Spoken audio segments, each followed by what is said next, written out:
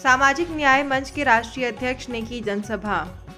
औरैया ज़िले के बेला कस्बे के कानपुर रोड पर स्थित विद्यालय सौरभ एकेडमी पब्लिक स्कूल में सामाजिक न्याय मंच के राष्ट्रीय अध्यक्ष शिव प्रसाद यादव ने अपने समाज को एकत्रित कर आज जनसभा की, जिसमें उन्होंने कहा कि पिछली सरकारों ने जाति आधारित सुविधाएँ उपलब्ध कराईं और हमारे समाज ने पूरा समर्थन किया। अब हम सबको मिलकर ऐसी पार्टी को समर्थन करना चाहिए, जो भ्रष्टाचार, गुंडाई अत्याचार से हमारे समाज को निजात मिल सके। इस सभा में शिव प्रसाद यादव, राष्ट्रीय अध्यक्ष विनोद यादव, प्रदेश अध्यक्ष सत्यराम यादव, पंकज यादव, प्रेम सिंह, सुनील यादव, गजेंद्र यादव आदि लोग मौजूद रहे। छोटा परिवार है, ये मेरा परिवार नहीं है। मेरा अपना मान के इतना बड़ा कर दिया